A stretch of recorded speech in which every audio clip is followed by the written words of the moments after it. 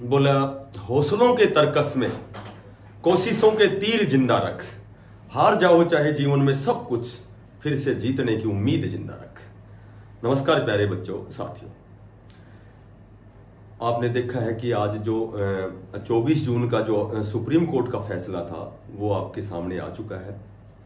देखो कई बार क्या होता है साथियों कि कोई फैसला जब हमारे अनुकूल आता है तो हम बड़े खुश होते हैं। कई बार जब हमारे प्रतिकूल जाता है तो हम बड़े परेशान होते हैं। आज सुबह एक लाइव क्लास थी, उसमें मैंने बताया था। ये सारे जो अभी जो फैसला आया है, मैंने लगभग पूरी बातें उसमें बताई, ठीक है? तो भाई, मेरा अनुभव से लगा लो, या भाई कहीं न कहीं कांटेक्ट में बातें हुई तो लगभग जो अब जो फैसला है सेम टू सेम मैंने बताया था। और कई साथियों ने वो सुना भी है। लेकिन कुछ एक साथी जिन्होंने कमेंट्स भी किया, बोला, आपको कुछ पता नहीं है। मैं बिल्कुल, हो सकता है, मुझे नहीं पता है। तो इस पे हम समय खराब नहीं करेंगे। मैं वही कहना चाहता हूँ, मेरे मित्रों, कि कई बार हम वही चीज़ सुनना पसंद करते हैं जो हमारे हित की है। जिसमें हमारा हित नहीं है तो हम अगले को ब्लेम करते हैं। हम छिंद्राणविष्य हो जाते हैं और उसकी गलतियों को ढूंढते हैं। ठीक है? तो चलो, उसके लिए मैं श्योरी फील करता हूँ। तो वही बात है कि आज जो फैसला हुआ है, वो एज इट इज़ जो हाई कोर्ट का जो फैसला था, उसकी पुनरावृत्ति है। यानी कि सुप्रीम कोर्ट ने इसको सिरे से खारिज कर दिया है, इसको डिसमिस कर दिया है इस केस को कि सोशियो इकोनॉमिक के जो पाँच नंबर हाई कोर्ट ने निरस्त किए थे तो वो बिल्कुल निरस्त है। ठीक है? तो वो फैसला आ चुका है। अब मैं भाई, जिसको पाँच नंबर चाहिए थे और उनको नहीं मिल सके तो उनको मैं भाई श्योरी फील ही कह सकता हूँ, क्योंकि मैं तो मेरे हाथ में तो है नहीं। लेकिन मुझे, मैंने ये पहले ही पिछली कल की वीडियो में बताया था यही बातें, और आज सुबह लाइव में मैंने यही बातें बताई थी कि ये पाँच नंबर नहीं मिलने, क्योंकि इसका कोई आधार नहीं है। वही परिवार पहचान पत्र का ही है, बाकी कुछ नहीं है। असली जो बात है, हमारी सरकार 20 ग्रुप को बचाना चाहती थी तो आज के दिन वो फैसला भी उन्होंने खारिज कर दिया है डिसमिस कर दिया है कि, भाई जो हाई कोर्ट का फैसला था कि जो भी सी ग्रुप टोटल जो सी ग्रुप है उनको दोबारा से एग्ज़ाम देना होगा। 20 ग्रुप जिन बच्चों ने ज्वाइन कर लिया है। तो ये हम सब भली बात जानते हैं कि भाई नौकरी लगना आज की तारीख में आसान नहीं है ठीक है? और बहुत मेहनत और मशक्कत करनी पड़ती है नौकरी के लिए। उन बच्चों ने ज्वाइन किया है तो कहीं ना कहीं उनको दुख है। तो वो दुख हमें भी है। बट ये नहीं है कि 100 परसेंट भाई उनको देना ही पड़ेगा।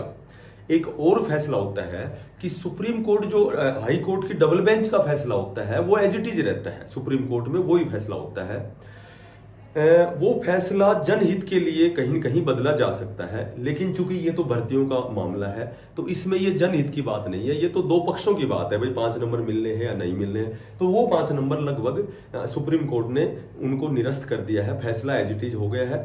हम बात को लंबी नहीं खींचेंगे।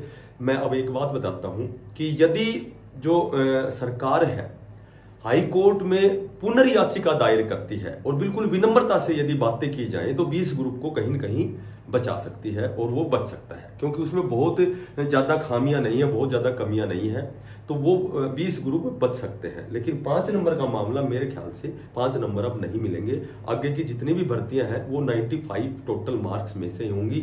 और टोटल 95 का मतलब नहीं है, केवल पाँच नंबर नहीं मिलेंगे। एग्ज़ाम तो सौ नंबर में भी हो सकता है, ठीक है? वो वही है कि हर क्वेश्चन एक नंबर का होगा।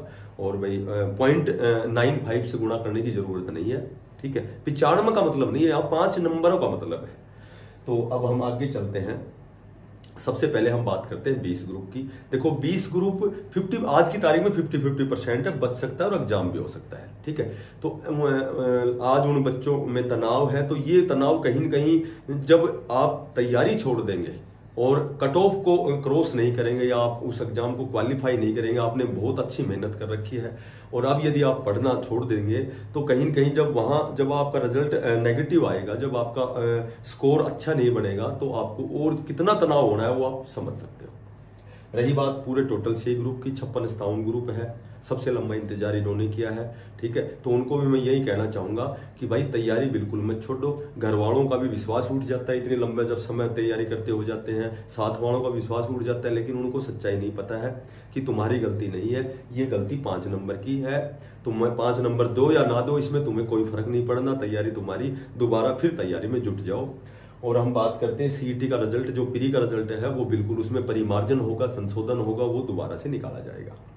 छप्पन स्थावन ग्रुप या कोई भी सी ग्रुप है, चार गुणा की कंडीशन है, क्योंकि नोटिफिकेशन और उसमें जो एडवर्टाइजमेंट है, उसमें दे रखी है कि चार गुणा ही बच्चे एग्ज़ाम देंगे। बिल्कुल सत्य है तो चार गुणा होंगे। ये अलग बात है कि बहुत से बच्चों को इसका अवसर मिलेगा। इस पर भी हम लंबी बात करने से कोई फ़ायदा नहीं है।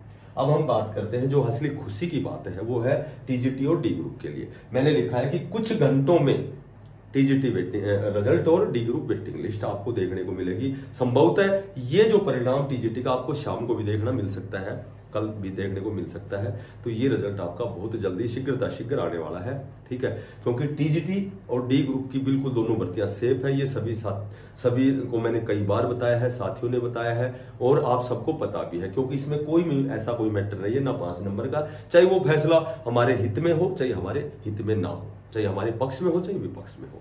ठीक है, यहाँ दिक्कत हो सकती थी, यदि यहाँ सुप्रीम कोर्ट में स्टे मिल जाती, वो डेट टू डेट मिलती रहती तो इनको दिक्कत थी। अब इन दोनों को टीजीटी और डी ग्रुप को कोई खतरा नहीं है, और ये बिल्कुल खुश हो जाओ 100 परसेंट खुशी की बात है टीजीटी का जितने साथियों का जो संघर्ष है, ठीक है, जो उनका प्रोटेस्ट है और वो काम आया और बहुत जल्दी इनका रिज़ल्ट आएगा। जिन बच्चों ने अच्छी मेहनत की है प्रभु उनकी सहायता करेगा, उनको सफलता मिलेगी श्योर और सर्टेन मिलेगी।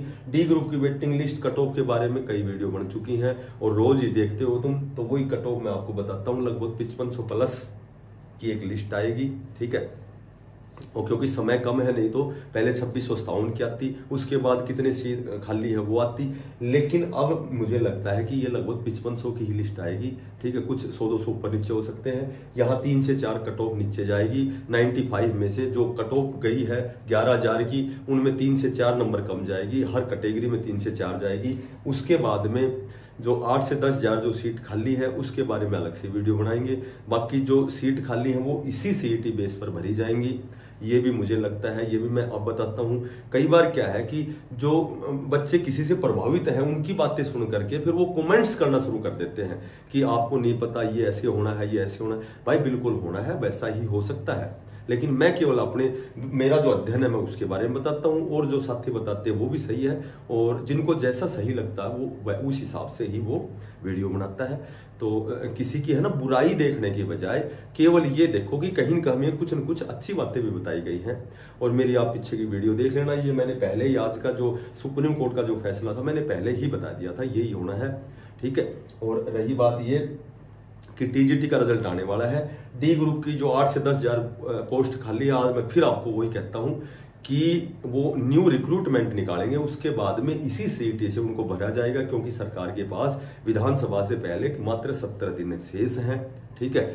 और अब मैं आपको बताता हूँ, फिर एक बात और बताता हूँ कि जिस दिन टीजीटी का टीजीटी का रिज़ल्ट तो अभी आ ही जाएगा कुछ घंटों में ही। और जिस दिन छप्पन स्थावन है, जो छप्पन स्थावन ग्रुप है, ये क्लियर हो जाएँगे, इनका एग्ज़ाम हो जाएगा, ये ज्वाइन हो जाएगी। उसके बाद में जिस साथी के पैंसठ प्लस नंबर है, वो डी ग्रुप ज्वाइन करेगा। हर वीडियो में ये लास्ट में मैं यही बात बताता हूँ। और जिस दिन छप्पन स्थावन ज्वाइन होने के बाद मुझे बता देना किसके पैंसठ नंबर है। नाइन्टी फाइव पिचानवे में से पैंसठ वाले की ज्वाइनिंग होगी। और आपकी तैयारी अच्छी है, आपसे मैं तो यही कहना चाहूँगा, यही आपसे रिक्वेस्ट करना चाहूँगा। कि इतनी अच्छी तैयारी जो डी ग्रुप में पिचानवे में से पैंसठ लेने का मतलब है, जब आप सत्तर क्वेश्चन ठीक कर सकते हो तो छप्पन स्थान का वेट मत करना, तैयारी करना, बहुत से एग्ज़ाम वेरियस प्रकार की भर्तियाँ, पूरे ऑल इंडिया बेस पर बहुत सी भर्तियाँ आपके सामने हैं। आप तैयारी लगातार करें, प्रयासरत रहे, संकल्पकृत होकर के सही दिशा में प्रयासरत रहे और जब आप सही दिशा में प्रयास करेंगे तो आप बाकी बहुत अच्छी पोस्ट पर नौकरी लगेंगे। और यदि सभी साथियों से मेरा निवेदन है ठीक है? सभी साथियों से मेरा निवेदन है भाई, पाँच नंबर मिलना, ना मिलना मेरे हाथ में नहीं है।